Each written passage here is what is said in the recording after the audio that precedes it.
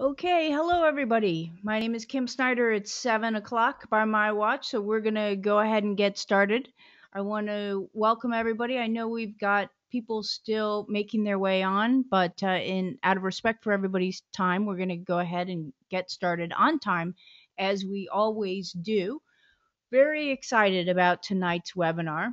So uh, I'm going to do a little bit of housekeeping with you while just to give people uh, an opportunity to uh, maybe make their way on. While I before I do that though, just to make sure, I want to make sure number one that you can hear me, and number two that you can see the title slide um, of our presentation. So if you would just type over on the right hand side in your GoToWebinar control panel, just let me know that you can see and that you can hear me. Uh, I would appreciate that. Marissa, thank you. Everyone else, can you see me? Can you hear hear me? Just let us know. Great, excellent. Stephanie, thank you. All right, very good. Just want to check. Hate to get about you know 30 minutes into this thing and everybody be wondering what it is that we're talking about, right? So, um, terrific. Let's get uh, going with some housekeeping, and if I can get on the right. Uh, hang on here one second. I gotta get on PowerPoint so it'll let me advance the slide. There we go. Excellent. Housekeeping.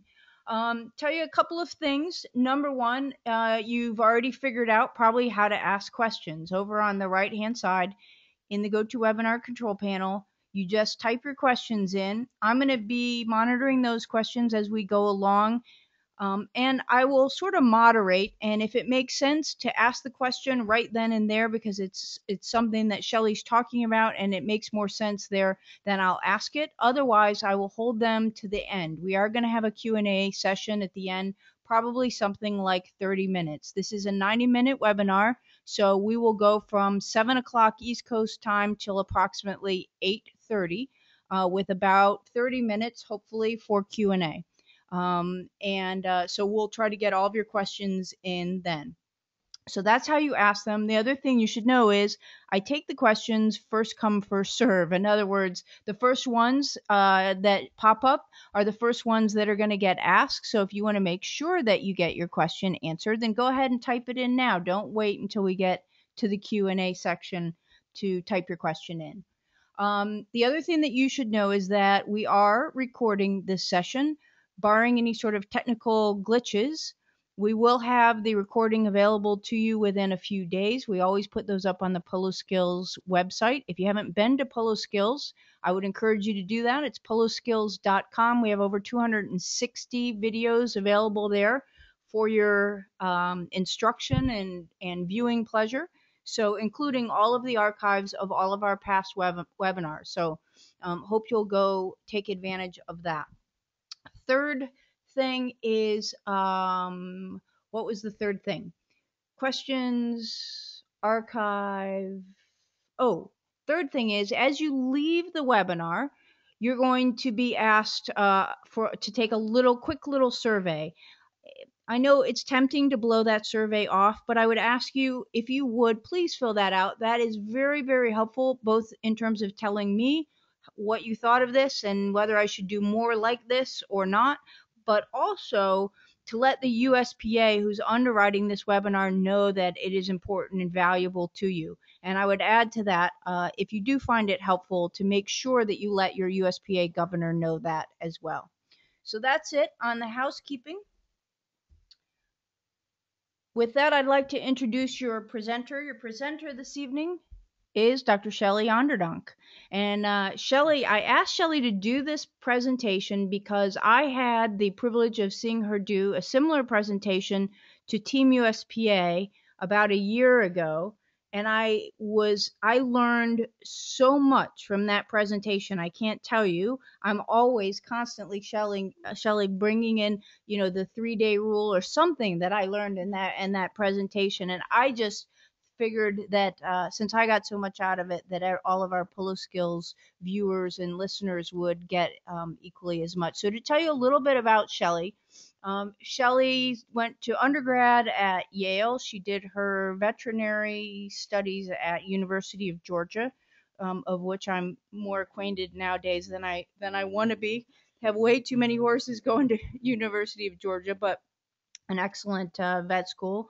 Her husband, for those of you who don't know, is uh, the former 10 goal professional Adam Snow, and she and Adam um, care for a um, a very large number of um, horses in their breeding and and um, polo operation. So, um, and and is it fair to say that your emphasis is holistic? Or... Yes, it would be fair to say that. Okay, holistic. I, I never know what the right word is to call that, but holistic approach to the care of polo ponies, right? Very good. Yes, that would be fair to say. All right. So we're thrilled to have Dr. Shelley Onderdonk. And with that, I'm going to turn it over to you, Shelley. Okay, thank you very much. Welcome, everybody. Our first slide, as you can see, is on nutrition, and that's not an accident. I believe that nutrition is the most important part of preparing a polo pony or any athlete um, to get to the field or to the show ring. It is something that is very important to understand that it's a long term commitment. You don't start feeding a horse and see the results uh, immediately in a day or even, even in a week. So, the feed that you're giving your horse right now, you're going to reap the benefits of that this summer when you're playing polo on it, for example. So, it's very important to have um, a long term plan with nutrition and to maintain your horses uh, in the off season as well as during the season. Um, so the next slide here, forage first. So uh, nutrition's first, and then forage is first. For the vast majority of horses that are in a moderate amount of work, they do not need a lot of grain. Um, if you give them good pasture or good hay, good quality hay, um, that is often all they will need.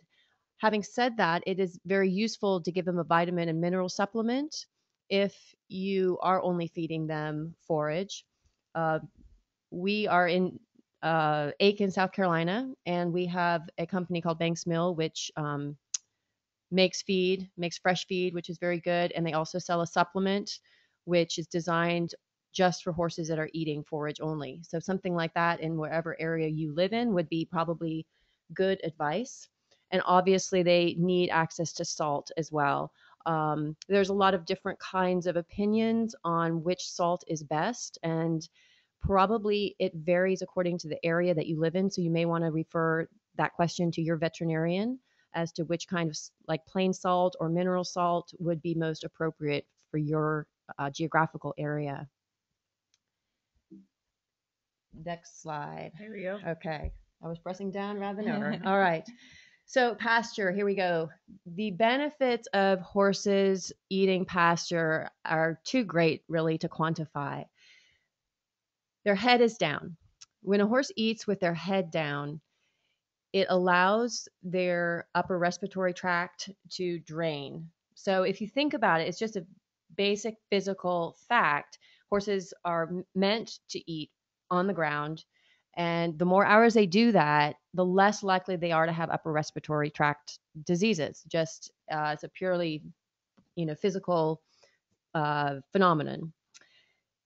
It also decreases stress on the horses because it is their natural behavior. Uh, it is also good, as in this picture, to uh, have horses turned out together if they get along, um, because the, again, that is a very natural behavior. In polo, we are extremely fortunate that most people um, recognize this need of horses to be social with the other horses and they have the benefits of exercising in groups and generally living with their uh, friends, so to speak, uh, and traveling with their friends and doing everything in groups, which actually is a huge benefit to the horse. And getting turned out with their friends is just yet another boon for them. It can decrease behaviors like weaving or cribbing. Um, I know that many polo players do get their horses off the track, and when horses are young and kept in stalls like they are when they're in training for the track, they often will develop these um, stall vices. Um, but often those can be significantly reduced by giving them turnout time. And then, of course, the nutritional benefits of fresh grass. Um, are are great because you get vitamins and minerals again that are you can think about it as a long-term process where the grass that your horse is eating in the summer may continue to nourish them in in ways as their um, as months kind of go on. The other obvious thing about grass as opposed to hay is that grass has its moisture content in it. You're much less likely to have colic problems or other digestive issues when horses are on pasture. We already talked a little bit about the social benefits of pasture. Um, the herd dynamics you have to be careful of, though. You have to make sure that you're making wise decisions about how to turn horses out. Um, generally, in the wild, unlike this picture, which is a beautiful picture, mostly if there's a stallion, they'll keep a band of horses that is relatively small, about 10 horses, generally max, maybe with some babies thrown in there, might get a little bit bigger. But that is more or less the natural number for horses to hang out in. And so I myself have tried to replicate that on my farm where I don't have like one huge pasture of 40 acres where I turn, you know, 20 horses out, but rather have smaller areas where you get more like eight horses or so. And then if those horses are living together, they'll establish a pecking order and they won't tend to injure each other quite so much, which is obviously very important for us. We don't want our horses injuring themselves when they're turning out, getting turned out. So this is a uh, next slide is about the benefits of fat in the in the uh, feed that is not the benefits of fat on the body so benefits of fat um, are that one the spook test very very interesting study done several years ago where they fed horses the same diet except one had a higher fat content than the others the total calories however were the same so it was just the content of the feed that was different. And then they would lead the horses out of the barn and put an umbrella up suddenly as the horse was going out of the barn. And they measured how much the horses spooked. The horses that were on fat were significantly less likely to spook than the horses that were on a regular diet.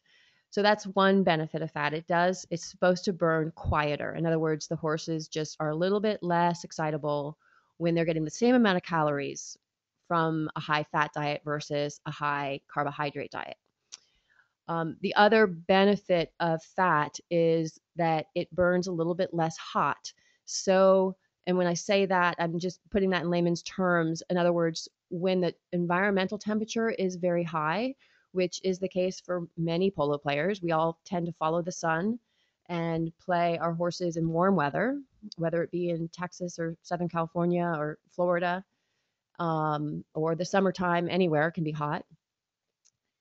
And when you have those horses on a higher fat, they don't create so much body heat when they burn their feed.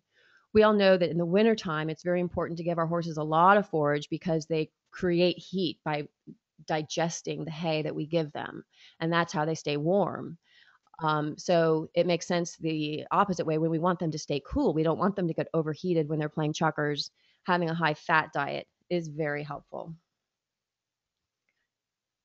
And then just here's a information on Banks Mill for those of you in Aiken. They make fresh feed. Um, and it's very important whichever feed you use to to talk to your distributor or your local mill wherever you're getting your feed from to find out how fresh the feed is and to find out what kind of uh, vitamins and minerals who they're using to get a balanced diet because um, most private feed companies will will uh, use some kind of a research institution to balance their feed and what kinds of you know for lack of a better word bells and whistles they have in the feed Probiotics um, have gotten a lot of attention in the last few years. They're very important for horses. We'll talk a little bit more about them later, um, but it's very useful to have in the horse's feed.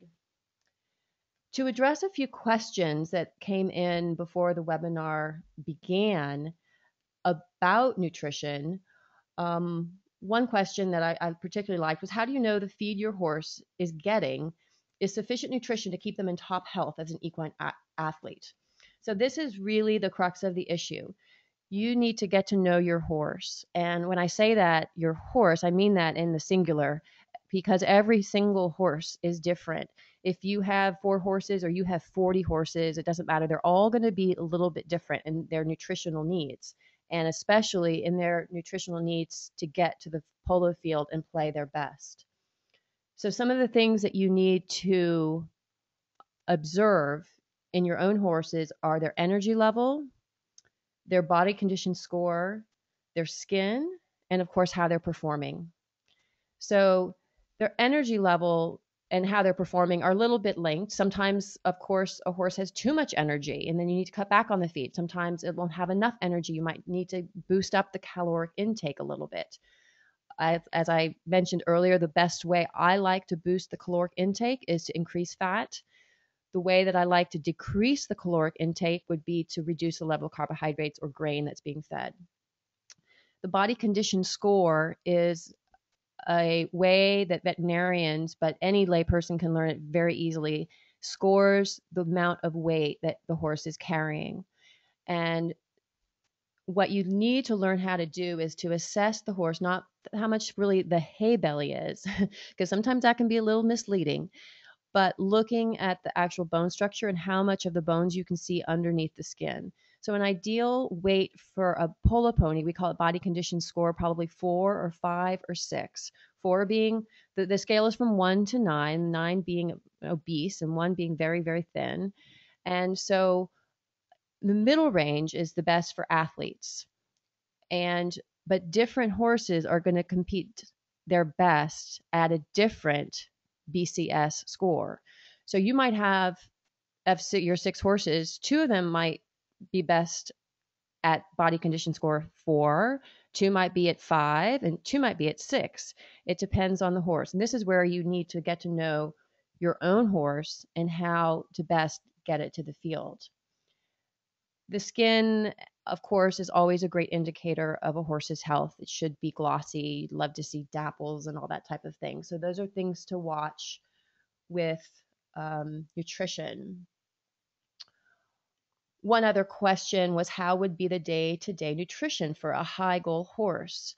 I think that I have gone over most of that, but I just would like to stress again that it's going to be different for every horse. There's no recipe that you can just say, oh, this is what you feed your horse. Because when you get down to it, the, the forage is first. Pick a very good grain if you need to add it so that you need more energy levels. If you need even more energy level, add the fat. Make sure that the, the ration that you're giving is a balanced feed. Add salt, add any mineral supplements, and from then on, it's going to be getting to know your horse, and along with your veterinarian, you can fine tune your own recipe for that. We will go on now. But before we do, yeah, yeah, before we do, I just have a, a couple questions. So, um, first of all, I'll, I'll, just let everybody know that we have uh, I think three videos on PoloSkilz from Charlie Herrick, who's the owner of Great. Banks Mill Feeds. That that was really eye opening for me. I never really thought about feed in the way that he presented it on those videos in terms of managing your horse's energy level up or down, just as Shelley was saying with fats and carbohydrates. And so if you if this is something that interests you, I'd really encourage you to go on PoloSkilz and uh, and watch those videos. But I've, I've got a couple questions for you, um, Shelley. As you were talking, that that uh, just occurred to me. Um, one of the things that Owen says a lot is Owen Rinehart, for those of you um, who don't know, Shelly's neighbor, is that um, you know the thing he sees most is that horses are overfed, particularly in sponsor horses, overfed and underbitted. Forget the underbitted for a minute. What about the overfed? Do you, do you is that do you agree with that?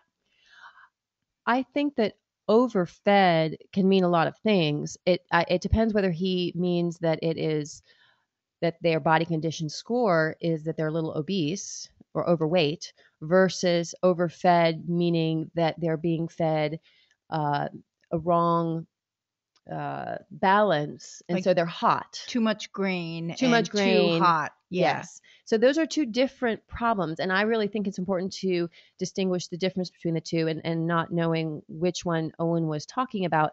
I'm going to assume that he was probably talking about the horses being a little bit too hot, and that's where the uh, really you really need to become a connoisseur of the nutrition to get horses to the field to play high goal polo and have the energy to run but yet not be too hot to play and Mhm. that's where the high fat comes in in Mhm. my opinion Yeah, it's like a science experiment to get it right, kind of, isn't it? It is, and it's definitely experimental because it's going to be different with every horse. You've got to find the right balance for each horse. And you have these guidelines, and then you tinker with it. hmm So here's the challenge, I think, for many of us, particularly lower level players. So we generally don't take care of our own horses because we have nine to five jobs. Someone Mhm. else, they're in a big barn or with a groom, and those grooms are typically, or, or barns are just going through and kind of feeding the same feed to every horse. And Yes. what, how do you, how do you address that when you're in that position? Well, I it's one of my uh, least favorite things about polo. There's lots of things about polo I love, like the socialization aspect for the horses and stuff. But w- in my work, when I work with a three day eventer or a show jumper or a dressage horse, though those people might own one to three horses, and they're individualizing everything about that horse to maximize that horse's potential. And I just don't see any reason in polo why we can't do the same thing.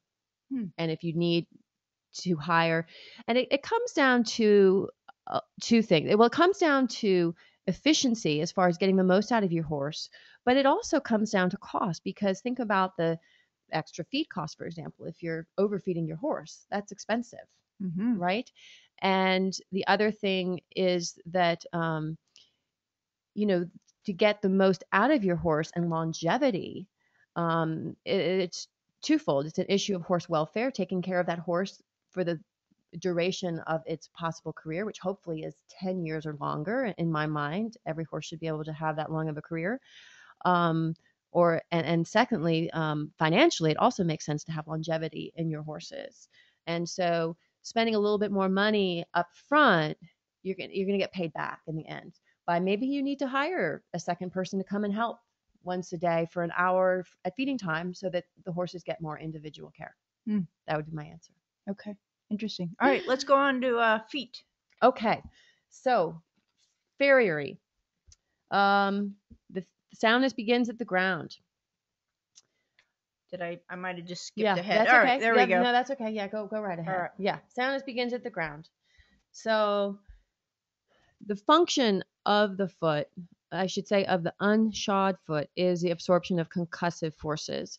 So really, we have to understand that what the foot is trying to do is it hits the ground is to decrease the shock that is hitting on the bones as it goes up the leg and as the leg meets the skeleton, the, the axial skeleton, which is like the body that we, we call about it. So it's a very, very important function. Uh, anybody who has experience with polo knows that often when you have an unsound horse, it will be something that is in the foot. So many foot problems can be corrected by really good corrective trimming and good farriery work. So there's a couple of things that you can do to try to minimize having problems. One is regular trimming. Stay on a schedule year round. Even though the horse's feet are growing not quite so fat in the, fast in the winter, often it's still important to keep them on a schedule. It's important to talk to your farrier about the proper way that the horses should be trimmed, and don't kind of. Oh, it's raining. Yes, it is. and don't skimp on a farrier. That's my next advice. Farriers will love me, but uh, it does cost money. It's something that's well worth it, and again, it's sort of a long term versus a short term benefit. Uh, just kind of like with the nutrition, you put your money in at the beginning, and you'll you'll get the rewards. You reap the benefits of it. So the exercise track and the living conditions. It's very hard to keep a horse sound that's living in a swamp, for example. Um, you know, the way they're walking in and out of the water all the time. Your farrier will complain to you about the shoes falling off. Um, and so wetness can be a big problem. Um, so that's something to consider. And the other thing is the exercise track. Very, very important to have a good surface. We're lucky in polo that the horses are asked to work on a very forgiving surface, usually, which is turf. And the more you can ride them on turf, the better. Everybody doesn't have that luxury sometimes, though. But do be careful of working horses on very hard surfaces. And uh, if you do have a large polo farm, or if you're in an area that has a group of horses that are regularly on a track for exercise purposes, it is very well worth your while to make sure that surface is, is good. There are a couple of questions about feet. One was about abscess care and prevention from Jay Holt. Thank you for that question, Jay, if you're listening. And that is a bugaboo for a lot of people. The best thing I can tell you is that preventative care, again, is very important. Keeping uh, on a regular trimming schedule, letting the horses go barefoot some of the year when they're turned out is particularly beneficial because it will harden the horse's feet and make them much more resilient. And then when you do have an abscess, um, you probably you may you may want to call your veterinarian and get get their advice, but the regular routine for abscess care is soaking to allow the abscess to open up. You can call your farrier sometimes. Sometimes they will help you um, pare out the hoof to facilitate that and and then keep it clean and usually once the abscess has broken the horse is immediately more comfortable um, you may need to see your veterinarian to get some phenylbutazone um, to make the horse more comfortable if it's a very bad abscess and the horse could be very acutely lame for several days if that's the case are there any questions oh but there's one more i think i have here Oh, yes, from Buckshot. He was asking about removable caulks with lower hock arthritis. So, lots of polo ponies do use um, some kind of elevated heels on their hind shoes, and farriers will put them on. Sometimes they're permanent, sometimes they're removable. Just remember that anytime you change the angles especially suddenly, of the horse's foot and the way it hits the ground, you're going to have some changes in the way the absorption of shock travels up the leg. Again, for the most part in polo, because the surface that they're working on is very soft, as being turf, I don't see as much lower hock, lower hock arthritis in polo ponies as you do, for example, in jumpers or in dressage horses, which are working generally on less forgiving surfaces. How the caulks, I'm actually amazed sometimes when I see the caulks on these hind legs of the horses and amazed that they don't have any problems. And I'd say that's the case more often than not in my experience. Um, and I think it is because of the surface that they work on. If they were working on a hard dirt surface or they had to, you know, be a carriage horse and be on the pavement or something, I think we'd see a, a much higher incidence. Not to say that it doesn't exist, but if you need those caulks for safety um, of the horse and the rider for playing, I would advise putting them in. Mm-hmm.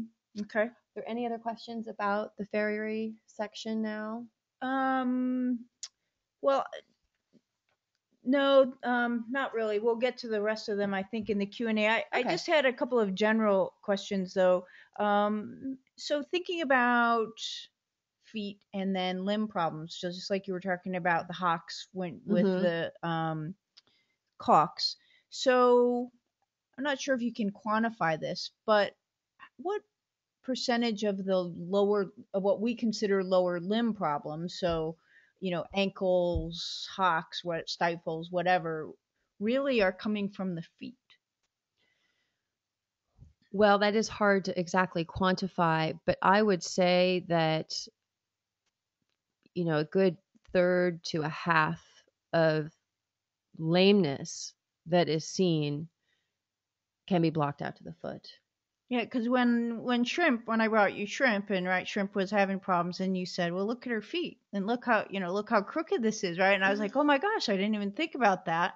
But Yeah. sure, if that angle is off, then that eh, over time is going to put stress on that joint, and so we should really be paying a lot of attention to that, even when we think it's something higher up the leg, right? Yes, and it's always a question of, you know, primary and secondary, but it's there's there are often more than one there's often more than one thing involved in any lameness issue. Mm. So, but I just do stress to people especially when you're buying a horse, start at the bottom, look at the feet first.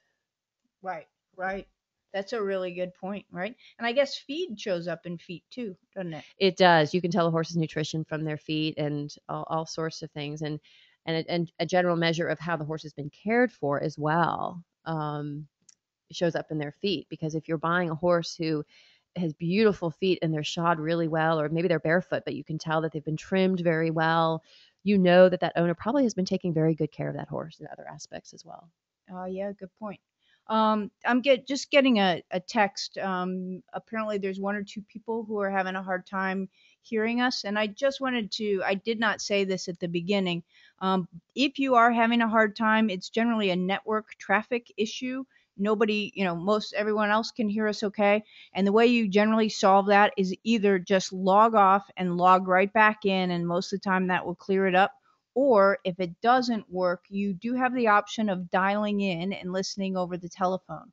Um, and that phone number, if you just click the button on audio and say use telephone, that phone number will pop up. And of course, that always solves it because there is no network uh, traffic problem there. So if a couple of you are having um, problems hearing, I do apologize, but that would be the way to to solve that. I, I noticed that we're getting a lot of really good questions too, so I can't wait to get to the to the Q and A section. Okay, so we'll move on to our next general topic, which is soundness.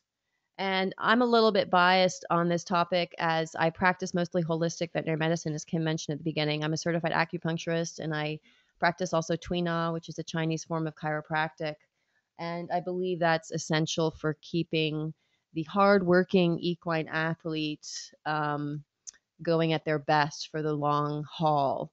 Um, again, it's you're going to hear me say this many times, but it's a more of a long-term outlook on horses to try to prevent problems before they actually happen, and as as well as the fact that you can prevent a lot of lower limb issues by taking care of the spine and taking care of the muscles um, of the back and the gluteals and other of these, these and the neck and these powerful muscles that really are the locomotion of our animals as we're asking them to run and turn. So, having said that, the muscles of a horse are incredibly big and strong. Uh, they need to be to do what we're asking them to do. It's very important to condition these muscles properly. We're going to be talking about actual conditioning in the next section. But just to bring it up here, there's always going to be a balance when you are using the horse as an athlete between building up the muscles and then breaking them down. And we obviously don't want to break the horse's muscles down. Um, you're gonna some of that's going to be inevitable at times if you have to play the horse into the seventh minute and 30th second, or you have to come back on a horse and double it in the finals, or you know, so, some of it is inevitable. But I would try to always minimize um, that idea of of breaking the muscles down and, and destroying the muscle fibers by excess work. The best way to build up muscles is through long and slow work, which we will go into in more detail later. Um, but many injuries in all aspects of uh, equine sports in my opinion, occur from horses that are not sufficiently muscled to do what they're asked to do. So we look at a, a horse and you see the development of their muscles. You see how their back is developed, their neck, their gluteal muscles, their hind end, their shoulder muscles. And you can get a pretty good picture right away.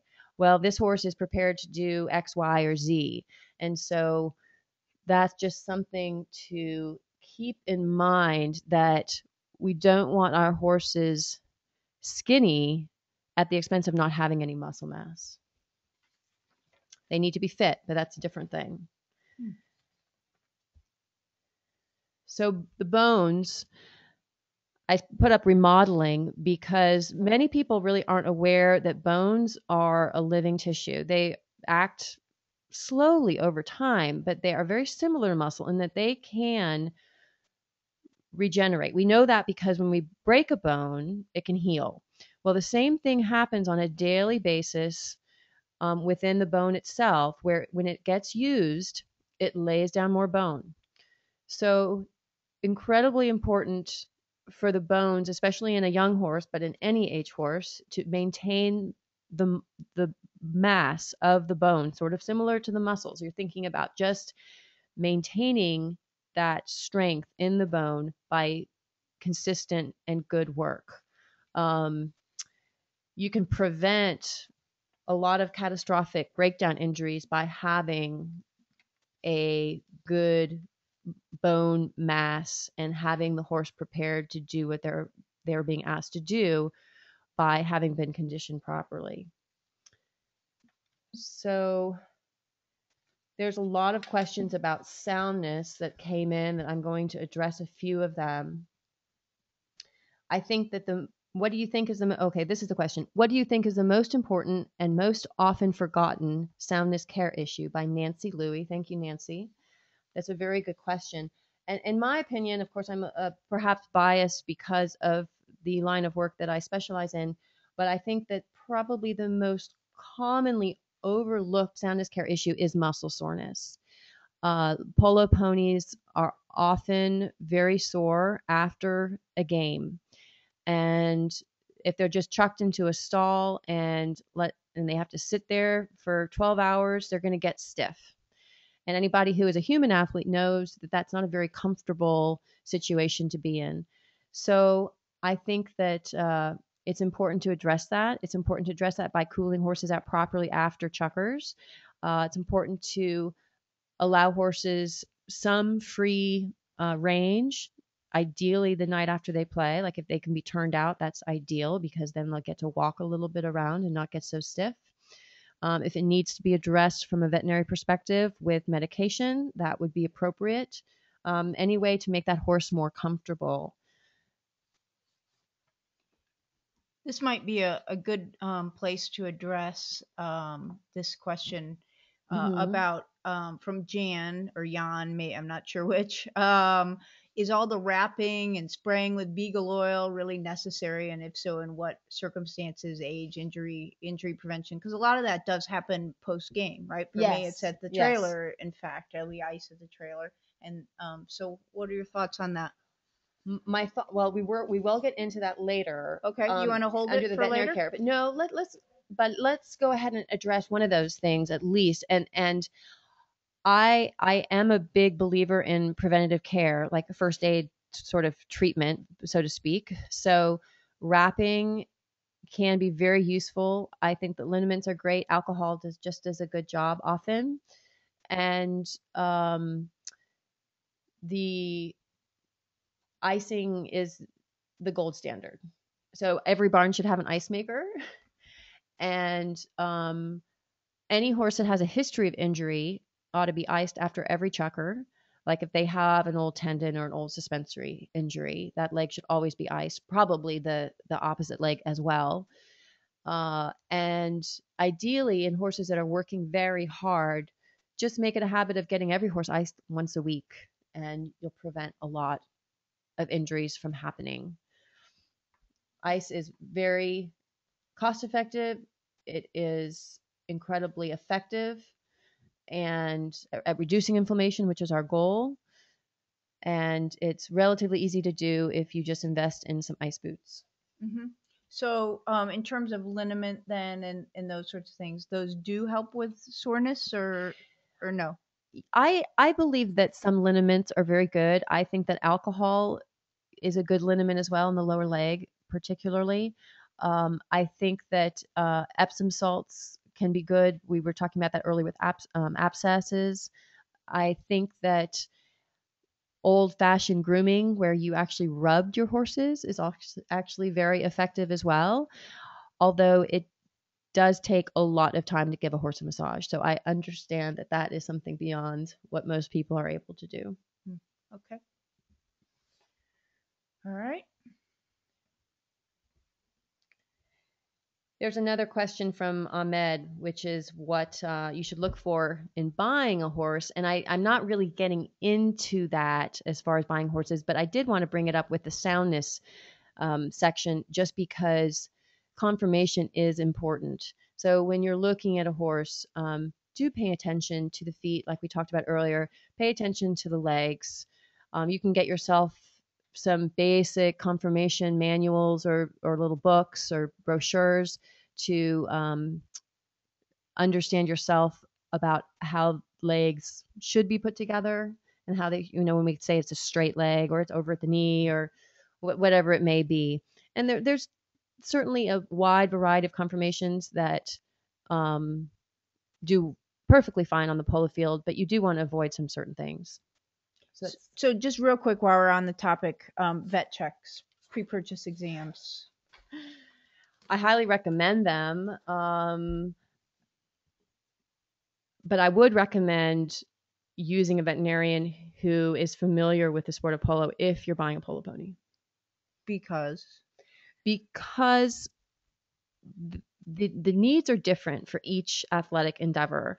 Um, uh, uh, there, there's at least you you should have a veterinarian who's very familiar with the, the equine athlete, um, and ideally polo, because they're going to understand what the horse is being asked to do, and that determines what kind of horse best suits. Mm-hmm. And so, if you want to get a good opinion, now that's different if you're just if you say, oh, I just want them to check the heart and the eyes and call it a day. That that's fine too. If you know exactly what you're looking for. But if you don't know exactly what you're looking for and you're not real experienced at purchasing polo ponies, I would recommend you really get somebody who knows what they're doing when they're doing your vet check. And and again, um, I would say we have a three part series in PoloSkilz by Paul, Paul Walleman on the best. Uh, yeah, about um, pre purchase exams and uh, man, he goes into an amazing amount of detail. We even went with him on a pre-purchase exam, and um, so that's really good if you're looking to buy a horse and you want to know um, how much or how little you could get done on a pre-purchase exam. So. Okay, so conditioning. This is probably the most important area, which is going to determine the longevity of your horse. So Oh, oops. Sorry. Sorry. We both pressed it. We're going crazy here. Hang on. Let's go back. Here we yeah. go. So one more, right? No, this is it. Yeah. Okay. Systematic. So important. Oh, it's a delay. That's why. Uh, okay. There we go. There we go. So important to have a long-term plan and stick to it. I, I and I say stick to it. Obviously, if a horse gets injured or there's some can sometimes be extraneous circumstances you can't prevent, you're going to have to be adaptable but for the most part, know when your season starts and work backwards.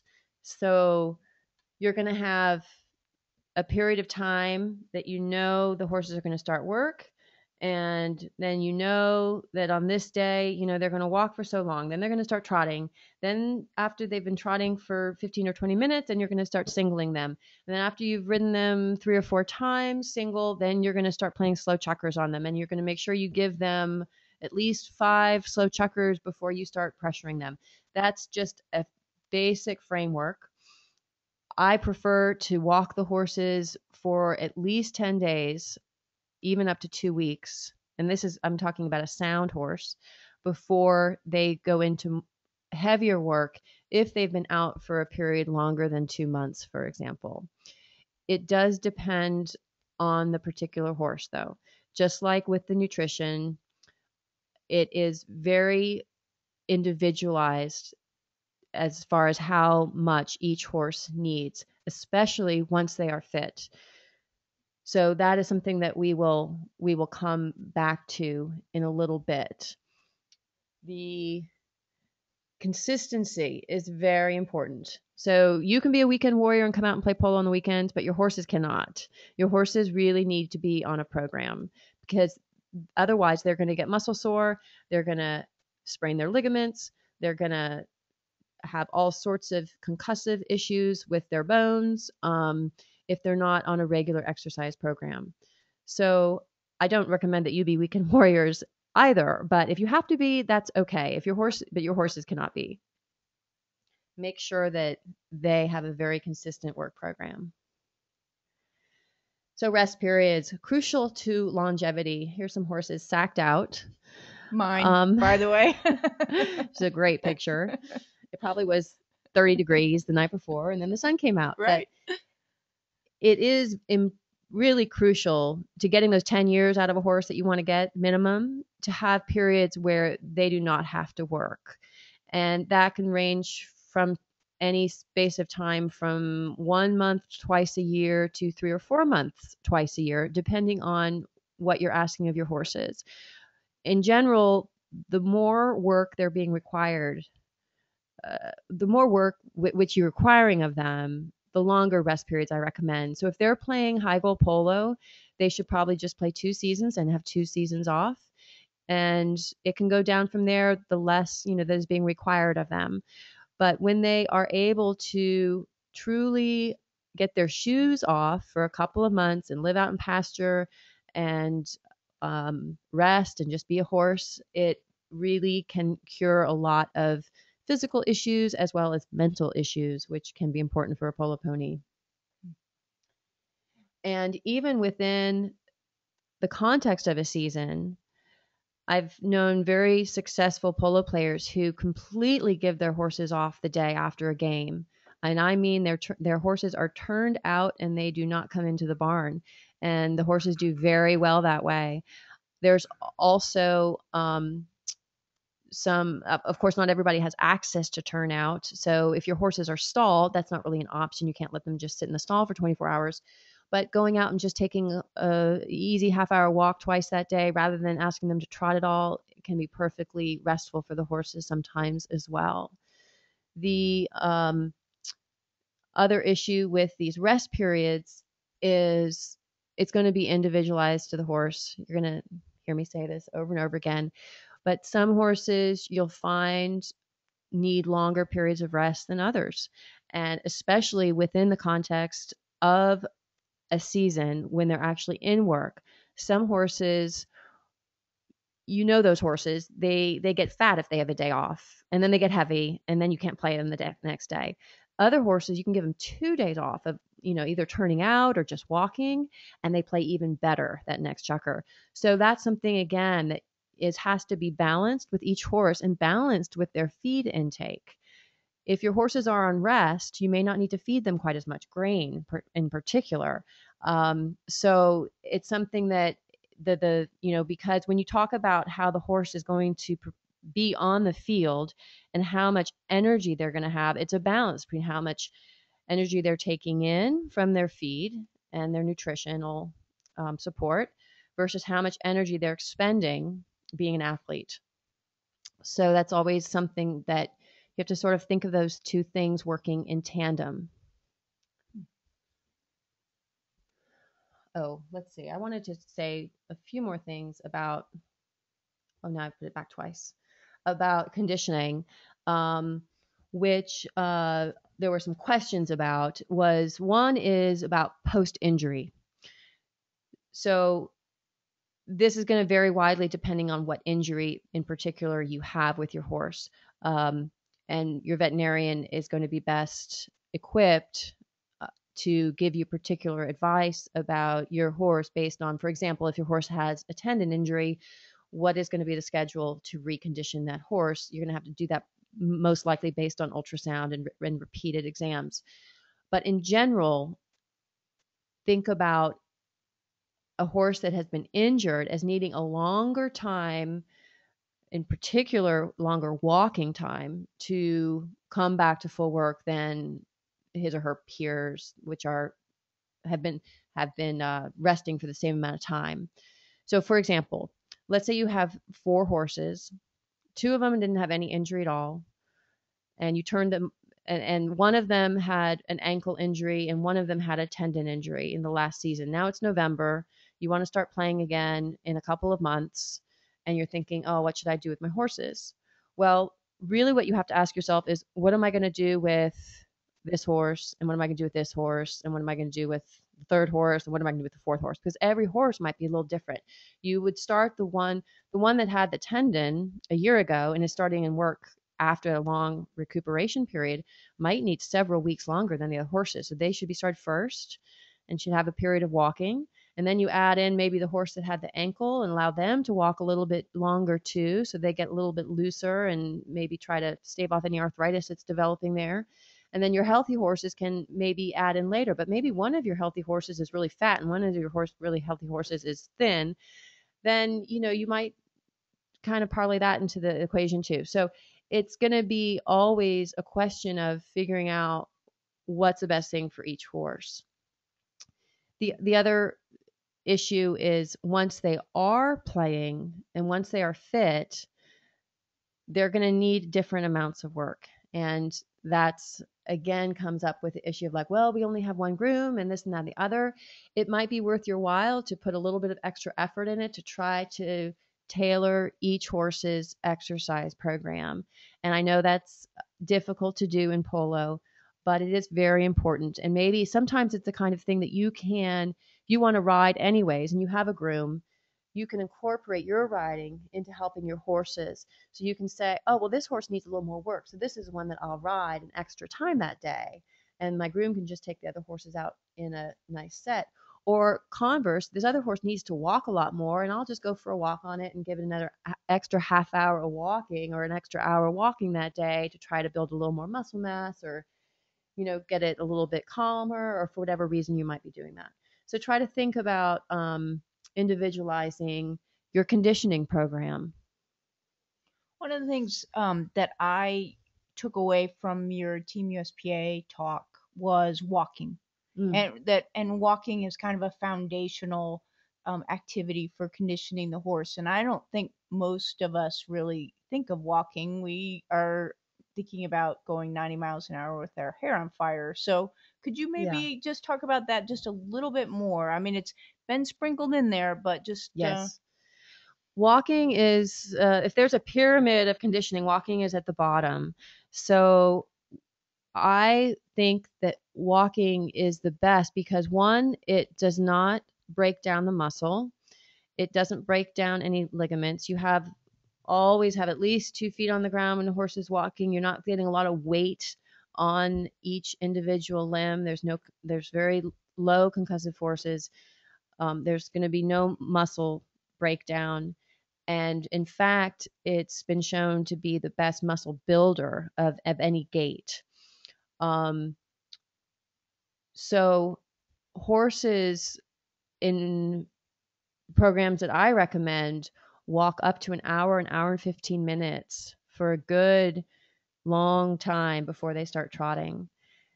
Hmm. And after they are fit, in other words, after your horse has already played a chukker or two and you're happy with the way they're going, you will find that there's probably a good number of your ponies that won't need to do hardly anything else but walking for the rest of the season besides praying practices and, and playing chukkers. And you will have a huge benefit to that as far as reducing overwork and overuse injuries if you can find that balance, um, especially once your horses are fit. So many um, problems in polo ponies do come from overuse, and it's so preventable because we we unlike other um, equine athletes, they don't need to go out and play every day. They play chukkers twice a week, maybe three times a week. Um, it's not like that jumper that needs to go jump every day, or or you know, people want to jump every day, so they jump it every day. Um, so take take advantage of that. Say, oh, well, today the horses don't have to play, so they can go walk for an hour, and they will be so much stronger for it. Yeah, great. Like that. Okay, there's a couple of questions as well. Um, I think I've addressed that one. So a lot of the questions do address like how to get a horse back from from into a high goal program. Um, I sort of gave you an outline at the beginning where you would walk extensively for several weeks, um, add trotting, um, and then you start singling the horse, and then you start playing slow chukkers. Uh, that's just a, a general guideline, but again, it's going to be different for every horse. And oh, here's a good question. When to make accurate determination about playing your horses in hot weather from Luis Frentano. So thank you, Luis, for that question. And this this is actually a conditioning issue because the horse has to be acclimatized, acclimatized, um, ideally, to heat conditions before they're asked to perform in it. Um, there are also medical interventions which you can ask your veterinarian to help you with for horses that are having to exercise in heat conditions. And then the third thing is we did talk about the fat in the diet helps horses um, metabolize uh, their feed in a cooler fashion to help them.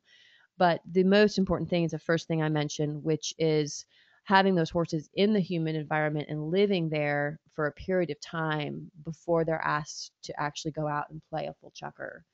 So that that's fairly important Yeah. because they will start to sweat more and um, adapt to the heat stress. Yeah, coming from Dallas, we played year round and it was 108. And if we didn't play when it was that hot, we'd never play. But then again, that's where they lived and they were used to it. Where Right. so it's just And the use of cooling systems after chukkers is fabulous. I'm very been around long enough to know that they didn't used to have them, and I was very happy to see them being introduced in lots of places. So if you're if you are in a hot environment and your club doesn't currently have any misters or um, cold water hose or anything like that by the field, you could encourage them to incorporate that. It's very helpful for the horses. Okay. So last um, session, we'll try to um, wrap it up quickly because I know we need to get to the Q and A session, but the, for on veterinary care. So obviously, I can just give you an overview of this. Any specific questions, you're going to have to deal with your own veterinarian. But we'll try to give you a little bit of an idea of some of the things I think about in terms of veterinary care. So for vaccination, um, very important to again, see, I'm saying it again, tailor it to the individual horse's travel and living conditions. You don't want to over vaccinate, you don't want to under vaccinate. So, ideally, a horse that is just staying at your farm and playing very local polo, not really interacting with a whole bunch of other horses, you don't need to do a lot of vaccinations every year. There's going to be your core vaccinations, which your veterinarian can recommend depending on your area. Um, but you're not going to need to do, you know, it, uh, influenza every two months or some of the other things that are required when your horse is traveling, for example, for FEI or whatever. So, really make sure that you talk to your veterinarian about what your needs are and what your horse's um, travel plans are because and and the, and the living conditions is important too. If your horse is living with just a group of horses, let's say you have six horses and you have your own place and those horses don't come into contact with a lot of other horses, you have a completely different need of vaccination than the horse that's living in a large boarding facility in contact with lots of different horses, horses coming and leaving all the time. That's where you really need to be careful of of vaccination. Um, and there was an excellent question from somebody about um, Christina, Christina yeah. Yeah. She said, um, What do I do if I am good about vaccinating my horse, but other people aren't?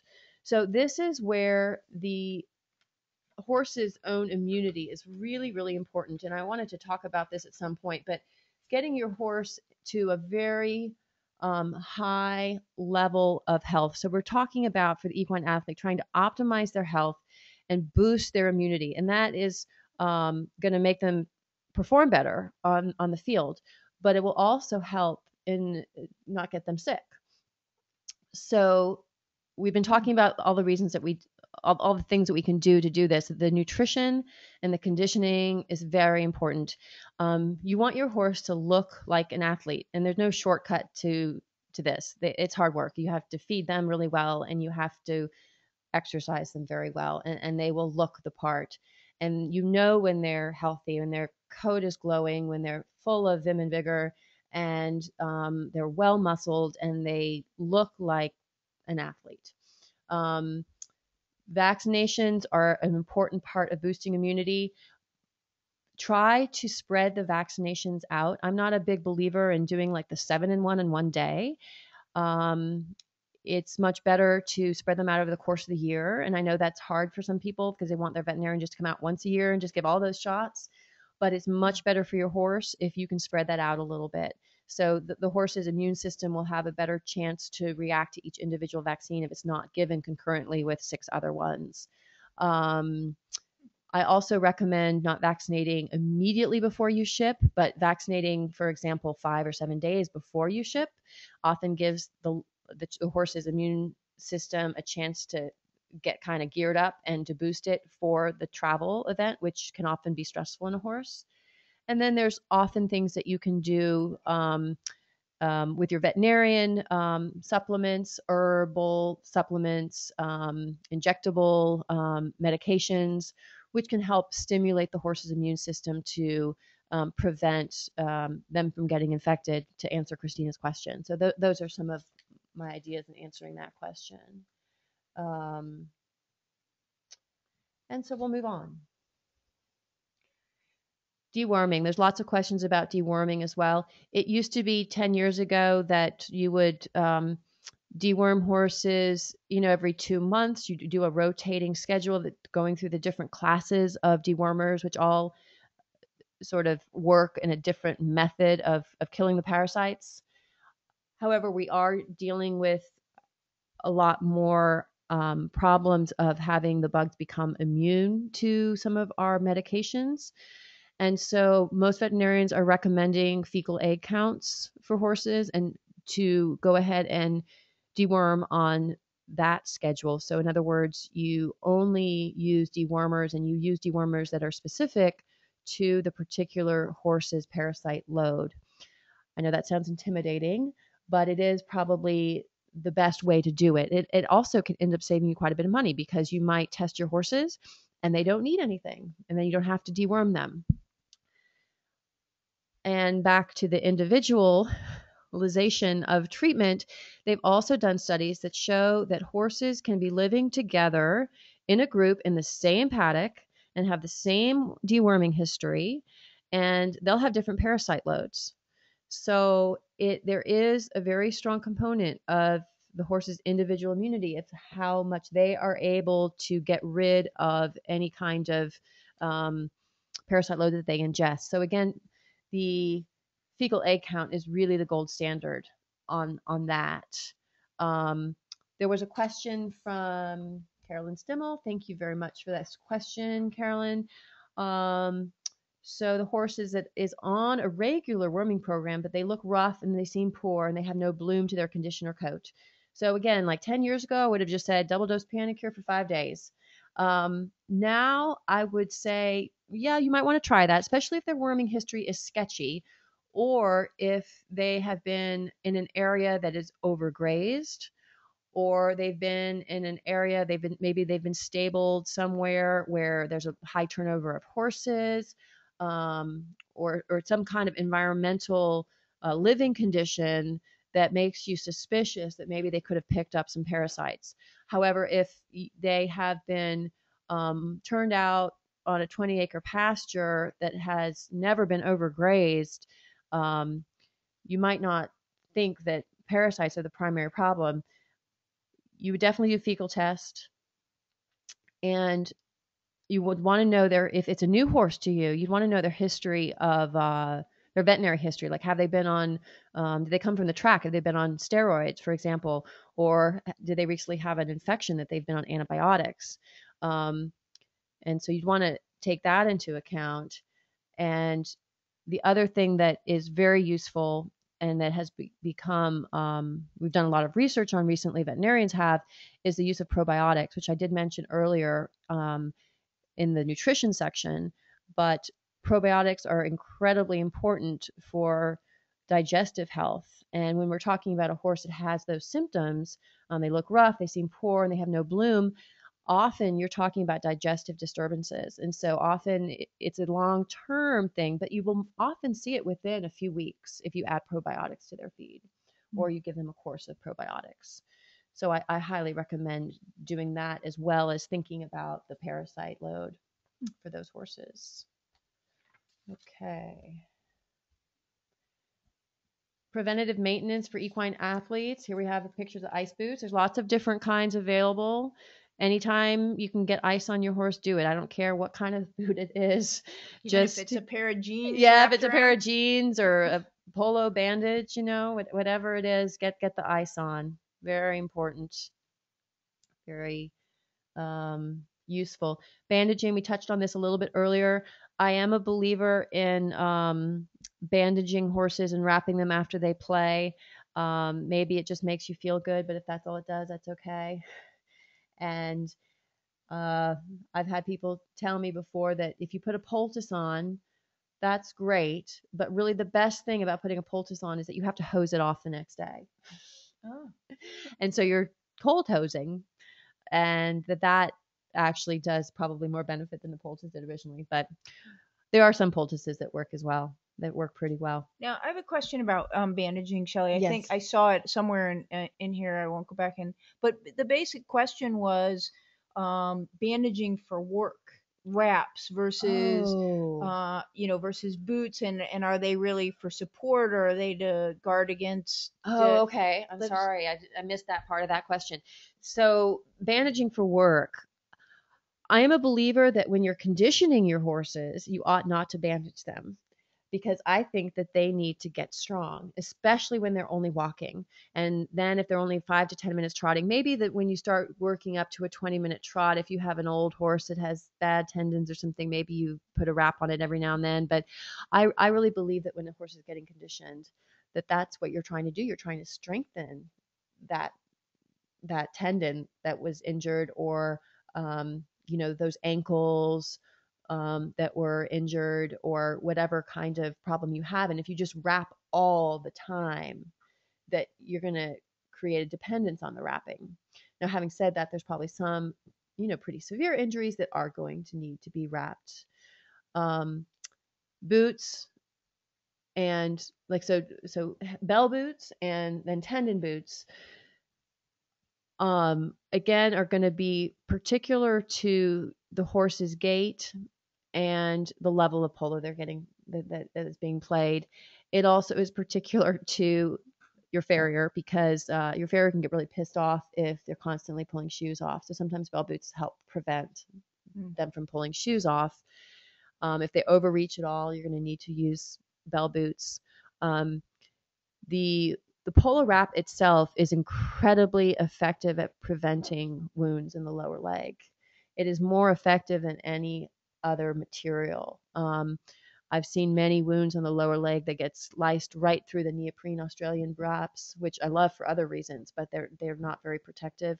Um, and that but that the the old fashioned polo wraps really do a good job of protecting against lower leg injuries um, as far as skin wounds and and then the the tendon boots um you know you're just going to have to have your own opinion on that one i'm not i, I won't conjecture to Okay. give you advice it's going to there there's a cost benefit to it okay. um it's it is protective it is cumbersome uh there's there's two ways to see that one Okay, so let me just see if I can summarize what you just said there. So the um, wraps are both protective and supportive, but in conditioning, Polo the- wraps, polo wraps, right? Yes. But in conditioning, your thought is that um, actually you're trying to strengthen the horse, and that that diminishes that, or, or so. Okay. precisely Um, and then um, bell boots.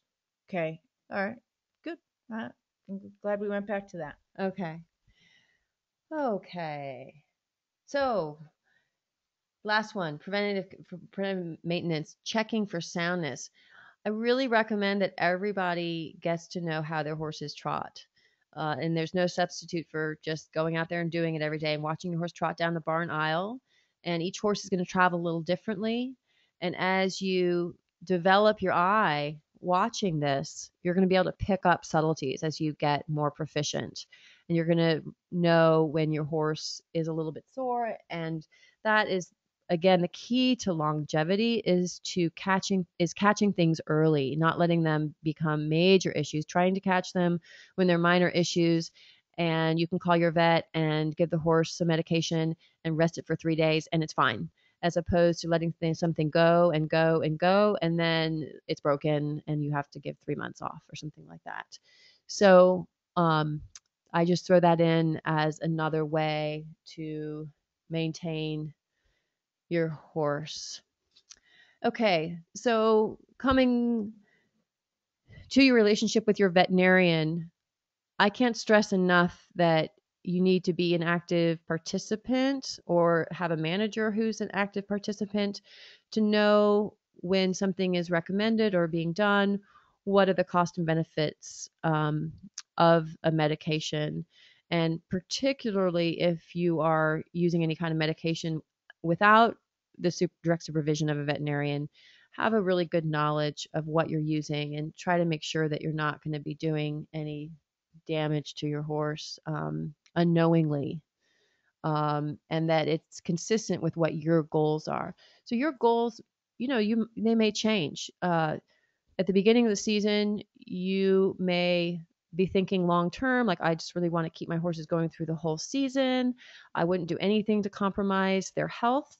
And then when it gets to the very last weekend and the last game and it's the finals, maybe if your veterinarian said, "Oh, well we can get through this one more game if we give this, but you know, we wouldn't have done it 3 months ago." Well, maybe you would say, "Okay, well I'll do it," but maybe you wouldn't. But these are the types of things that you need to have an open open communication with about about with your veterinarian um, and just be clear about what your goals are for the for the short term and for the long term. Mm-hmm. Okay, a first aid kit. Um, briefly, um, having things to cover wound care is really important. I always recommend to my clients that they go to the grocery store and buy four uh, like sort of like Tupperware sandwich sized boxes. And they can get a sleeve of gauze sponges from either their vet or usually from the saddlery store and have one with dry sponges in it one with alcohol soaked sponges in it, one with betadine, one with chlorhexidine, which are just basic um, wound care uh, swabs so that you can have those in your first aid kit that's in your trailer or in your barn and it'll save you a lot of a lot of trouble. For um, you, you should also have bandage materials available so you should have some so those those four by four gauze sponges are good just to put over a wound if you need to then bandage it until the veterinarian comes um, and you know have things like uh, the cotton wraps and uh, probably vet wrap or some standing bandages around, um, things that you can bandage a horse with if they do have a wound. You can also keep uh, disposable razors because uh, it's great to be able to sort of get the hair away from a wound so that uh, the hair doesn't contaminate the wound. The next thing is you would want to have with you would perhaps be um, an ice maker in the barn, as I recommended earlier. Great preventative care for inflammation. You might have, uh, well, you have the alcohol wipes. You might want a bottle of alcohol, just regular rubbing alcohol to um, use as a liniment, for example, on the legs before you wrap them. Um, you might want to have a bottle of DMSO with gloves that you could also use as an anti inflammatory on areas um, Furacin or some other kind of uh, topical anti- antiseptic cream would be good. And um, Epsom salts, we, we mentioned that earlier as a use for soaking feet for abscesses. There were a couple questions I wanted to address about veterinary care before we go on to the general Q&A session. And they were questions from Robin. Thank you, Robin, about tying up and about anhidrosis. So, just very briefly, but both are, are fairly common in polo ponies. Tying up is in the thoroughbred, which is usually there's different kinds of, of tying up according to different breeds of horses, but usually in polo ponies, it's re- recurrent exertional rhabdomyolysis, which abbreviated RER. And it can be prevented not so easily, but can be attempted to be prevented by keeping horses from getting excited, from good conditioning practices and good nutritional practices. So a lot of the things that we talked about with conditioning and nutrition are very important for the tie up, the horse that is prone to tying up. Having regular work and having regular feed with a high percentage of forage as being the primary um, source of calories. Um, so horses that are pastured or horses that um, are eating very good quality hay, you might want to not give them very much grain. Um, you might want to give them a lot of turnout to have uh, to for the calming effect of that. You want to have them in regular work. It it definitely exacerbated by a rainy day and they don't get out, and then the next day you get tie ups. Um, and then the the calm aspect as well and, and this is something that's very tricky you have to learn with your own particular horse what their triggers are to get in tying up and it often is something like um, you know, they don't like going out late to go be singled. And if you single them at six o'clock, they're going to tie up because that was supposed to be feeding time, for example. Or they have to, they go out um, getting, they go out and be, you know, are singled um, alone. Maybe they don't like being out on the riding field alone. They might, you might learn that they go out with a buddy, they won't tie up. There's things like this that you have, and it's, it's, there is definitely um, you know, for lack of a better word, psychological component to tying up in horses. It's definitely seen more in mares and it's definitely seen in flighty mares. So try to learn about your horse and figure out what those triggers are. Mm. Um, Anhidrosis is when a horse stops sweating. This can be a life threatening situation. Well, so can um, tying up, actually. If a horse has a, oh, let's, let's go a little bit of, of care of tying up. If a horse does tie up, do not move the horse. Um, any kind of movement will just make it much, much worse. Keep the horse warm, keep it calm, and it needs anti inflammatories. If it is just a very minor tie up, like there's just one muscle that's um, involved, you may not need to call your veterinarian, but in many cases, you do need to call your veterinarian, and that horse might need fluids and medication to help it through because it's a very, very painful process. And horses can look like they're colicking when they're tied up, but the the main thing that you will notice is that they do not want to move, and you should not make them move. Unlike, of course, in colic, everybody thinks, oh, walk them, walk them, walk them. So very different treatment for those two problems. So make sure that you um, do not move a horse that's tied up. Um, okay, so now we will go to anhidrosis. The uh, problem is usually created by horses by horses exercising in very hot, humid conditions, and it just sort of maxes out their system, and their system decides to quit, which can obviously be very dangerous for the horse. The treatments are varied again, sort of like the the RER that we were just talking about, there's no one solution. There are many different ideas about how to treat it. You can treat it with um, various medications. You can treat it with various supplements, um, dark beer, acupuncture. There's lots of things out on the table, which basically tells you that none of them work 100% of the time. Um, but in per- some particular horses, some are going to work and some are not. You're just going to have to try. Um, there's lots of supplements out there. There's vitamin E selenium. There's 1AC. There's uh, um, Ventipulmin. There's definitely different medications that people use, and I would advise uh, conferring with your veterinarian and maybe you can go through a uh, program or a protocol where you can try different things out and see which one works for your horse. So that sums up what I have prepared, and we're going to open the lines for questions. Awesome. So Kim, you're first. Yeah.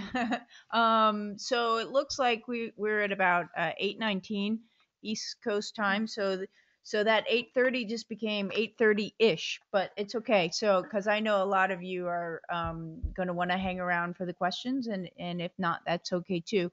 Um, I did want to let everybody know I forgot to mention this earlier on that uh, Dr. Jim uh, Brendemuehl is um, going giving us he's uh, sort of sponsoring this webinar or underwriting or I don't know what, but he's given us 10 bottles of Wound Wonder um, to give away to attendees of this um, webinar.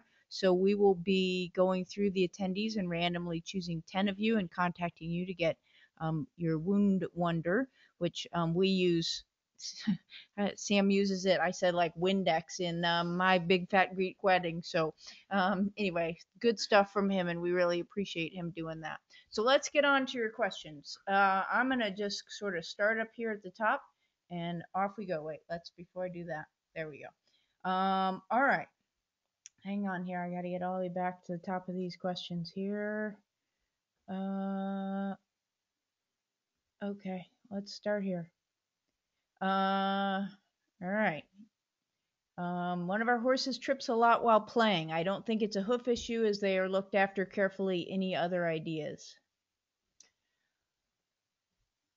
A lot of these specific questions I'm going to have a hard time answering um, without looking at your horse. I would say that most tripping issues do have to do with shoeing.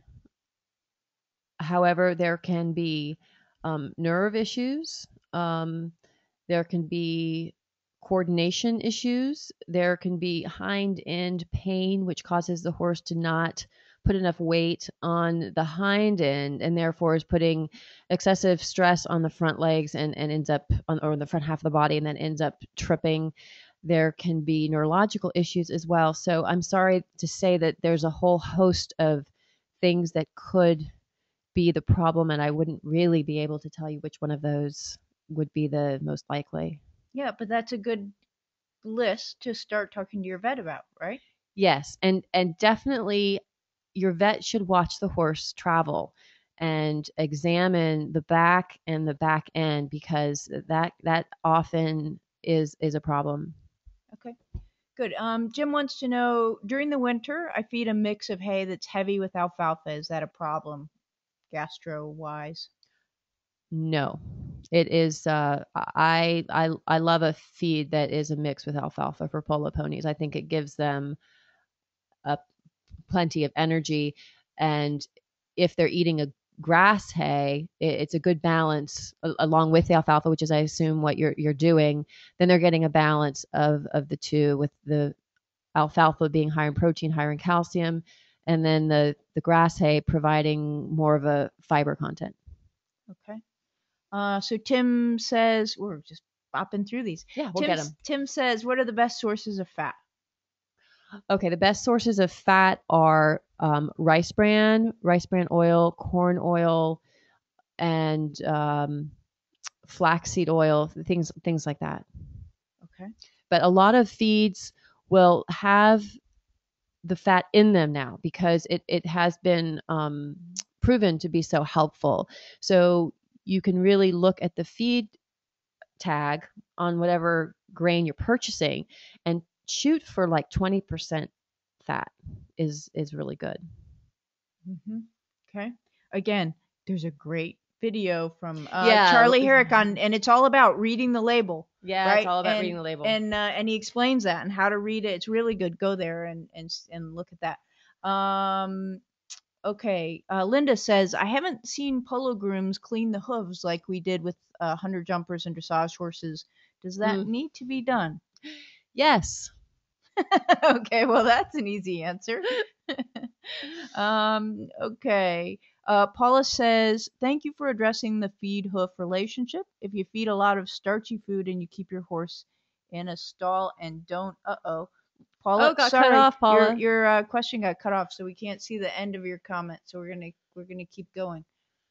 Um, Lori says, "How do you teach a non-polo farrier to shoe for polo?" I would recommend that uh, you don't try to teach your farrier anything, first of all, because that might be rife with issues. Um, but he would need to learn how to do it by watching polo ponies move, watching polo games, and ideally apprenticing with somebody who is a good polo farrier for a period of time. Okay. I think I just found the end of Paula's question. Right? Oh, yeah. Here we go. So, um, so she, so Mhm. she says, "I- if you feed a lot of starchy food and keep your horse in a stall and don't, Don't- exercise the horse, will your horse Your- get hoof-related problems?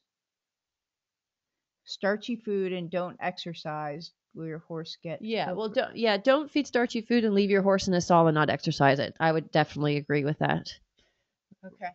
recipe for obesity and laminitis and, and founder. Okay. Yeah. All right.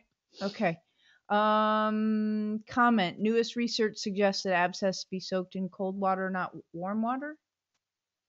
You know anything about that? Heard anything about that? Opinion about that? it can be that way. I would recommend mm, definitely dissolving the Epsom salt, so which works a little bit better in, in warm water. Mhm. Okay. Um, Bode, This is from Jay. Bowed tendon is a common issue in polo horses. How can the farrier influence this injury in a positive way? Okay, well the the main issue with farriery with um, tendons is trying to decrease the breakover point. So you're talking about hoof balance here, which is- really hard to just talk about without having a picture or, or some some sort of at least two dimensional um, drawing.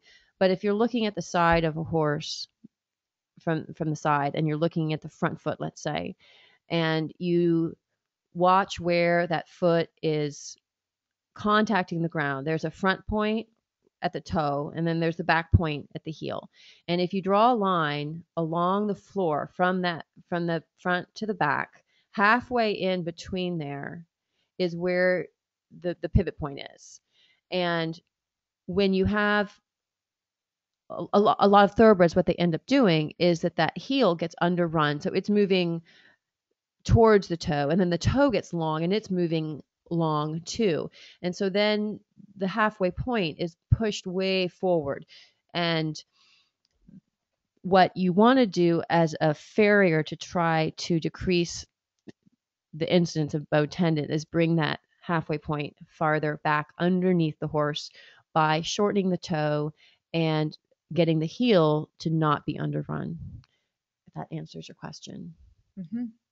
I, I don't know whether you all can visualize what I'm saying or not, but uh, that that was best I could do. But that that's a, a common goal for um, not only bow tendons but for thoroughbreds who are not racing on the track in general. Um, Ahmed says, do you recommend joint supplement Mm. in general and specifically or especially for senior horses? And do you have any recommendation in regards to doses? I do like joint supplements. As far as doses, you would just follow the the manufacturer recommendations, and especially for senior horses is is very useful. And it really comes down to a question of cost. If if you can afford it, it's a good idea. So when when we're talking joint supplements, that could mean a lot of different things. It could mean feed, it could mean Yeah. legend or polyglycan. I mean, what? um, Right. You're you're basically looking at either oral or injectable, and there there's also um well let's just stick stick with those. And the the research um has been very consistent that shows that several of these products do work. I- I'm not going to be promoting any particular products tonight, but uh, there are several that you can talk to your veterinarian that have been proven in good studies to work and decrease joint inflammation. So I, in my own practice, I generally tend to stick to those rather than use generics. Um, but a lot of people use generics and think that they're very useful too. So I, that's another thing I just talk to your veterinarian about. Whatever you do decide to use, I, I would recommend that you have some sort of um, proof, either in the form of your veterinarian recommending it or a study that's shown that it's worked before you waste your money on it. Because there's a million out there and they're not, they don't all do what they say they're going to do. So, but let me just clarify this: there are some oral and some Inject- injectable, that work. yes. It's just a question of which ones in both categories. that's correct. All right. Anne says, I have Hmm. one horse of 10, a Palomino, that always gets abscesses. What can I do to prevent this? Yeah. Um, it's it's probably something genetic with the the hoof um, on a horse that continues to to get abscesses, especially a, a palomino. Maybe it has light colored hooves, which a lot of people think are more prone to it. Um, there are, some good products that you can use. Your farrier can recommend to harden the sole and, and make them um, more durable. Um, I'm I'm a big believer in in bare being barefoot as well with proper trimming to to harden the foot up, and that can sometimes help. Um, and then watch the footing, like we talked about earlier, where um, you know certainly with a horse that's prone to abscesses, you don't want to ever take them on gravel or on rocks or anything like that. Okay. I think we um, addressed this, but I'm just going to come back to it real quickly. Uh, Leslie says, How much complete time off, if any, do horses need between seasons, such as after the indoor season and before the outdoor season or after summer season? And should they be at complete rest or still being exercised? Really good question. It depends on the horse. Um, ideally, if like I, I said, I think earlier that a horse that's working really hard, um, for example, in high goal polo, should have two to three months off between seasons. Um, but uh, it depends on their injuries. Also, they they might have injuries that require more time off. Um, and as far as the second part of that question, if you go back that minute. Oh yeah, should they be at complete rest or still being exercised? It really depends on the situation that they're in. If they're in a beautiful big pasture, which, you know, big, I mean as like a stocking rate that's two acres per one horse. So you're turning your string out in a nice 20 acre pasture and they have plenty of grass and they're really happy and they have to walk a lot to get between food and water, they're going to get enough exercise that they're going to stay at a low level of fitness, which is very important. If they are in a stall, they're going to need to be exercised. Or if they're in a small paddock where they don't really walk very much, they're going to need to be exercised.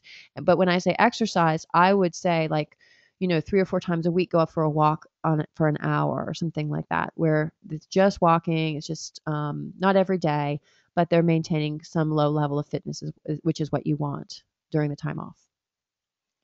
Okay, question from Tyler. He says, What are your thoughts on horses being stall wrapped and left in a stall overnight after a game? Yeah, well, we discussed this a little bit. I've seen people do it many different ways successfully. Being turned out is is a great way to recuperate a horse after a game. If they're standing in a stall, it's even more important that they're wrapped, though. Okay, Because unfortunately, a lot of clubs don't only- have, they don't, yeah, stall only, right? Right. That's all. The important thing is not to just put your horse in the stall and let him sit there. He- He's gonna get muscle sore. So, So cooling them down properly after a game. Um, if you're playing at 11 o'clock and they get put back in the stall, I would almost recommend that they get taken out and hand grazed or something that evening. Um, just let them move around a little bit. Uh, Amanda says, How do you feel about poulticing after every game? I understand horses who have had old injuries, but I feel like it might hide a new injury the next day. That's very true. We often say in our barn that uh, you're not really out of the woods until the second morning after the game because the first morning, if things are poulticed, it might not show up. However, I still think that you're doing more benefit than harm by decreasing that inflammation, even if it is a new injury.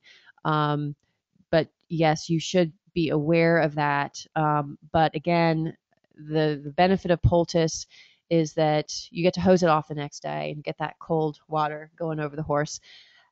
The other the other benefit sometimes is that you actually have to look at the leg when you bandage it. I had a veterinarian mentor who told me one time, "Oh, I'd always tell people to wrap the legs because then they just have to get down on their knees and they have to look at the leg."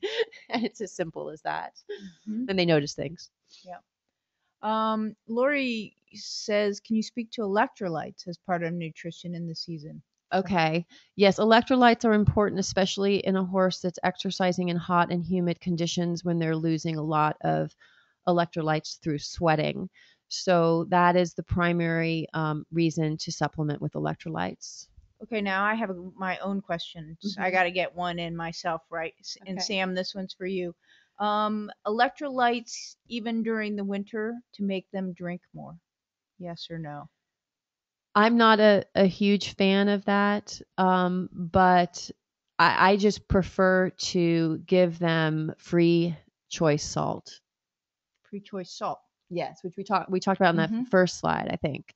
So instead of putting electrolytes in their grain, which is sort of force feeding them, so to speak, you can give it free access. hmm And if they need it, they'll.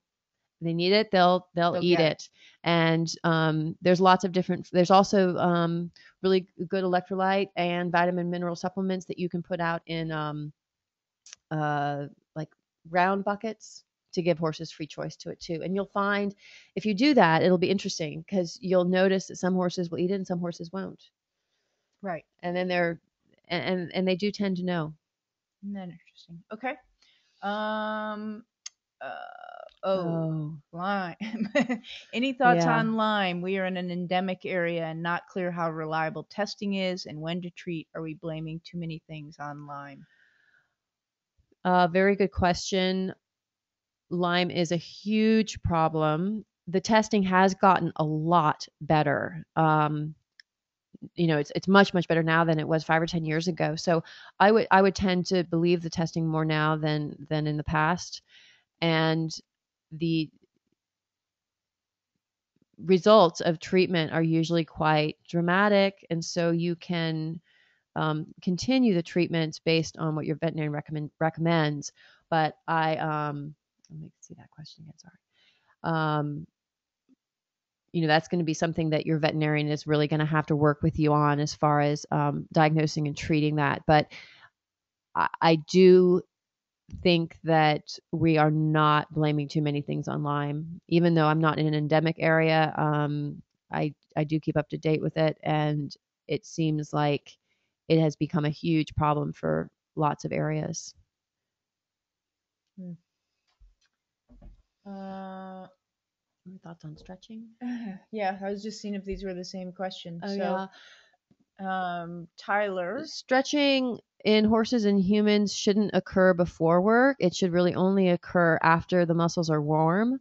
And so, um, and stretching is great if you really are comfortable with um, your horse's anatomy and your horse's disposition. Um, it should you should only do things that feel very good to your horse and never force anything because there is a, a possibility of harming your horse with forced stretching. Hmm. But if you feel comfortable and you're you're um, and you really like doing it, I- I'd say that's great to do after work. after work. Okay. Uh, another question from Tyler. What are your thoughts using lavender extract placed on a horse's chest or nose to help calm them before or during a game? If it works for your horse, do it. Okay. Good answer. Uh, any recommendations for senior horse feeding? Well, in general, horses as they get older um, have more digestive issues. So using probiotics is really important. And then keeping care of their teeth. We didn't really talk about teeth at all tonight, but um, having your uh, veterinarian uh, float your horse's teeth regularly to keep on, on top of that issue will be important, um, even more so as your horse ages.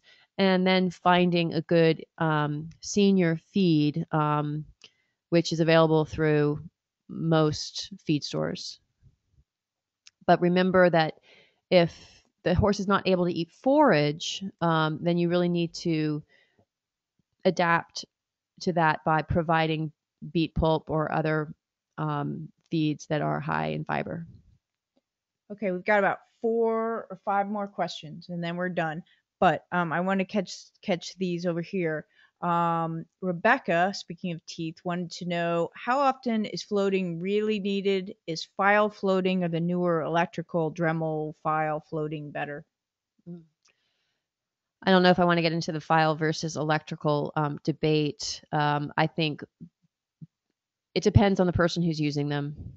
Um, it's in the hands of the practitioner how good the job is. I think people can do a good job with either method, and how often it's needed um, really depends um, on the horse.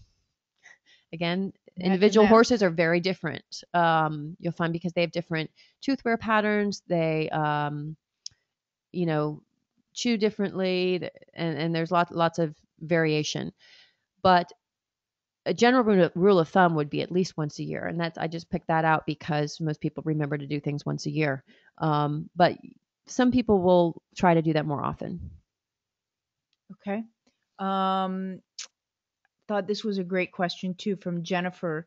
At what age of the polo horse should you go from say three to four club practices or games to maybe two practices or game regarding the best quality of life for the horses? What are some signs that a horse is coming up on being done playing polo? A really excellent question, and I love that somebody's interested in the horse welfare aspect of it. Um, it depends on the horse. Um, some horses can play high goal polo until they're 18, and then you know they don't want to do it anymore. If you know your horse well, you'll know when they start um, one being sour um, the first thing you'll often notice is they won't want to go into throw ins. And then the second thing is that, um, you know, watching for the signs of optimal health, like we were talking about earlier, like watching their body condition score, watching their coat, um, how much energy they have. Um, and if you notice a, a sudden drop in any of those factors, then that might be your sign that you need to slow down a little bit with your horse. But a lot of polo ponies, you know, they they like to work and they like the game and they do better if they're in a, a an amount of amount of work and they get to continue doing their job. So um, it's something that you'd play by ear. But I, I would say in general, 18 would be the the time when I would start thinking about toning it down for for a healthy horse. Okay. Um, I missed one also from Robert. Robert wants to know your opinion of feeding fescue compared to coastal. Hay or grass? Oh, he's not here. Sorry, I yeah, can't ask no, that he's, question. He's here. Actually, he's it was up higher, but um, I believe he's talking hay. Yeah. Although I think he feeds both. So.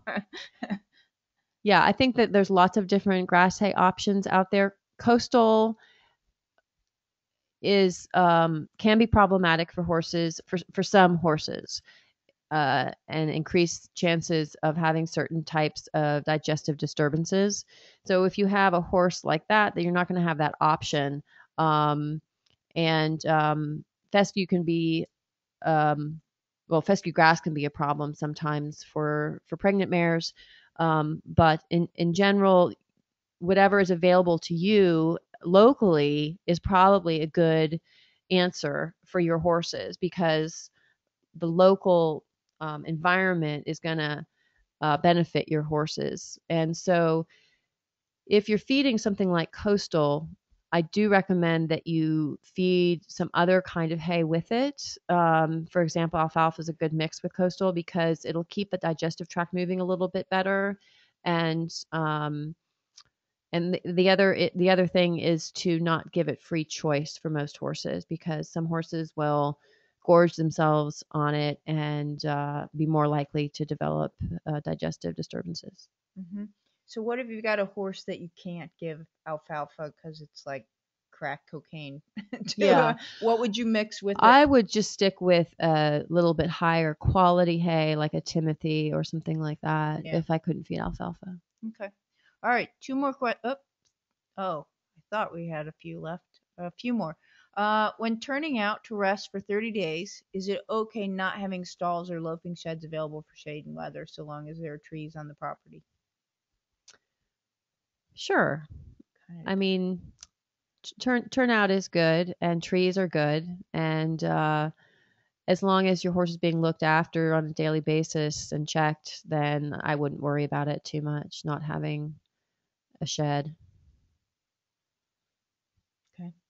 Um, Linda says, "Is there any good massage equipment inexpensive I can use to massage the horse? Any recommendation?" there there are um, not inexpensive equipment. Probably the most inexpensive thing you can do is uh, do it yourself, which there are some good schools you can learn to do. You can probably do some online things, and good grooming and good rubbing is it goes a long way. Um, so, and I'm I'm not really in the position to be recommending any products tonight. So, um, but uh, but definitely there aren't any things that are that I know of that are inexpensive. Sorry to say. Okay.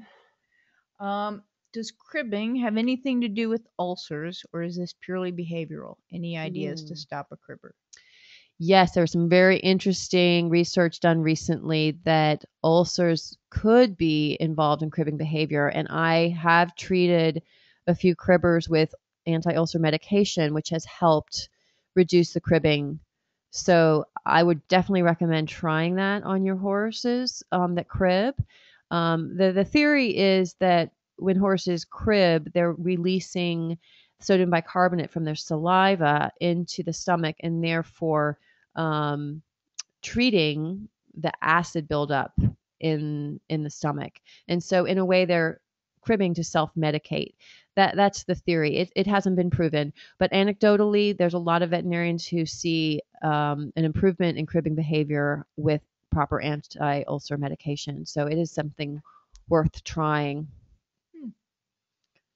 And, and cribbing in general, um, turnout um, can really help. And um, again, digestive health really helps too. So proper nutritioning nutrition program. Okay. Uh, Anne says, "How do you feel about walkers, walking machines to prep local polo ponies?" And I think uh, Tyler had the same question. I love walking machines um, if they're safe and your horse is, um, you know, uh, accustomed to them, because uh, honestly, it, it's really hard for people to walk horses as much as they need to be walked. And so, if you can add another half an hour a day through a walking machine, I'm all for it. I think it's great. Okay. Um, and then Tyler says, "What's your estimated retirement age for a lower goal arena polo pony?" really hard to say. It just depends on the horse. Most horses are going to be retired um, because of injury, and um, and if they are sound, um, you know, and and they're in good body condition, um, and they're eating well, they can certainly go into their twenties. I don't know if this helps or matters, but I I know that um, Tyler is the president of a um, college Oh, okay. team, uh, and so the horses that they're getting are probably more dinged up than maybe Yeah. uh, right or Yes, but however, um, low goal arena is is not as physically demanding on a horse, and so they often can continue going on for quite a long time if they're Right. well taken care of, and um, you use a lot of good preventative maintenance on them. okay uh okay same question about the walker Yeah. um can you use blood exams to check how fit your horse is Um, yes, you can. I mean, as far as um, checking muscle enzymes was something that um, was very much in vogue a few years ago, um, based on the human research that shows that you should tailor your workout every single day to what your muscles are actually doing. So if you want to do that kind of intensive work, I highly recommend it. It's it's quite intensive, but it's a good idea. You can also obviously use blood exams to um, test your general the horse's general immunity um, and uh, you know optimize the the health. So um, if that's something that's accessible to you, um, go for it. Is it possible to feed too much fiber No, a horse won't eat too much fiber. Um, I mean they're they're they're made to eat fiber all day long, or you know, 16 hours a day to graze. So, um, well, I, I, you know, they they'll, they might get obese, but uh, it's not bad for them okay in the sense that they're, it's going to cause them uh, health problems besides obesity. all right and last question does weaving lead to ulcers and any suggestions on reducing weaving behavior Okay, well, we, we talked about the weaving and the cribbing earlier as far as um, that's those are definitely related to being stable vices. Um, often happen with horses that are young and put in uh, a pretty unnatural environment as far as being in a stall 24 7. And so once those behaviors are established, they become habitual, of course, and it's hard to change them. Um, but you can definitely see improvement in them. And, and the best way to do that is by socializing the horses and by giving them access to a more natural life as far as lots of turnout. So those would be my recommendations. And as far as leading to ulcers, um, it's not necessarily causal, but it's definitely correlated. Some of the same problems that cause weaving also cause ulcers. So um, stress, um, uh, being in an unnatural environment, um, having unnatural food um, sources, in other words, like eating a high grain diet and low forage, all those things are going to um, lead to perhaps both of those behaviors. eh, I mean, the behavior and the medical problem of ulcers. Okay, one last question. Okay, I'm gonna sneak you in, Anne, and then we're absolutely done. An add-on question: Would you ever use only a walker to prep for the season? No sets, no trotting, maybe singles later on. No, they need to trot to develop their cardiovascular strength. Um, so the answer to that would be no. But you could use it certainly for at the beginning of the season when they're just walking, and then you could use it once the horses are fit on days between games. If you're just going to walk, certainly a subset of your of your um, group of horses might only need to walk between games. Um, there's usually a couple in everybody's string who don't need a whole lot of work in between games, and then there's others that need a lot of work. So those horses you could, uh, you know, put in walkers and and just take to the field. All right, we're gonna cut it off there. We've gone way beyond uh, 8:30 ish. Um, but these have been really great questions that you all um, are asking, and and I really appreciate Shelley staying around to to answer them. I hope you've gotten a lot out of them. Uh, as many of you know, this is a, a monthly thing that we do in association with the United States Polo Association, co-produced by PoloSkilz Network. For those of you not been to PoloSkilz, I will say again, we have a tremendous amount of information there, so I hope you will go take advantage of that. Um, we're going to call it a night. We are going to, I will give away the 10 bottles of Wound Wonder. I will contact you and probably p- post it on Facebook as well um, for the winners. And on your way out, if you would be so kind as to let us know how you liked the webinar, what you liked, what you didn't like, what you'd like to see more of, who you would like to hear from, and I will do my level best to get those folks in to talk to you about uh, those topics. If you found it helpful, please let the USPA know. Our funding is coming up in a month or two, and they need to hear from you in order to continue this program. So that's it, everybody. Have a great evening. Thank you so much, Shelley. I've really enjoyed this, and every time I talk to you, I learn so much. Thank you, everybody, for um, being interested in improving the welfare of your horses. Good night. Good night, everybody.